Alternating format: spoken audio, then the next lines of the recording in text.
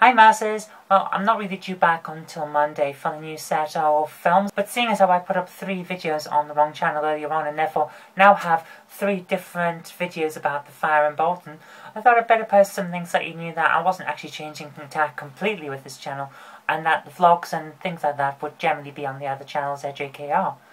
So let's start with a casual Friday.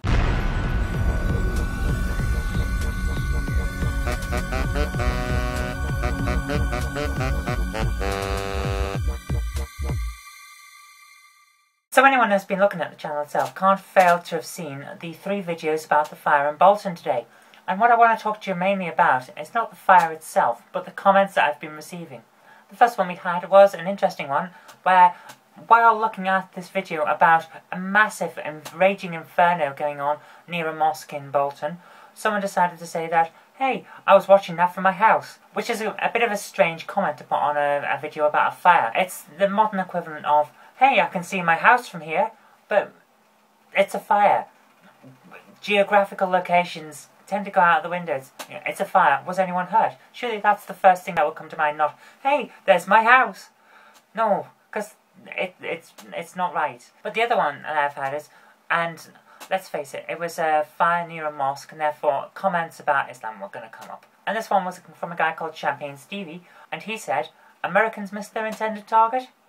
Not really appropriate at the moment, Stevie. Although I have to admit, when I saw the flames and I was in Bolton Town Centre, my initial thought was, oh good grief, someone set fire at the mosque. Because it was coming from that direction. But I'm glad to say that actually it was over the road.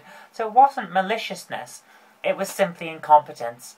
Or perhaps it was maliciousness and it actually turns out to be arson. But what it seems to be is it was a fire in an MOT centre. So something's gone wrong with machinery and it's hit oil and things like that. And that's why the flames were so high. Because at one point they were going about 50 feet into the air. From my point of view, it was amazing and a bit scary to watch. But at least from what I can tell, it wasn't said deliberately, and that's got to be a good thing. Another fire and explosion news, support for the Liberal Democrats here in the UK seems to be exploding.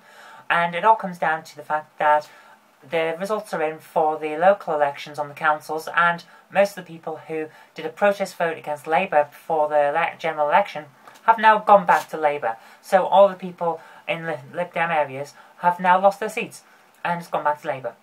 The Conservative Party has made a few gains, but it's mainly Labour's got the, the big gains, Liberal Democrats lost out a huge amount, and then to top it all off, the Liberal Democrats have been pushing for years, if not decades, for a reform to the voting system in Britain. And they got it. They got their, their referendum on it.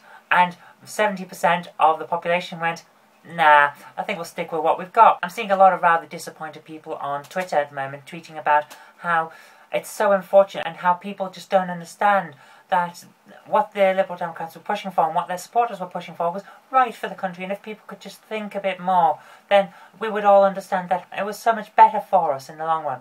But let's face it, the majority of people want to say, I want X. If I get more votes for X, then X wins. That's what they want. It's simple, it's quick, and it can be counted on one night. And it can be counted very quickly so we get the results in and we don't end up with hung parliaments again.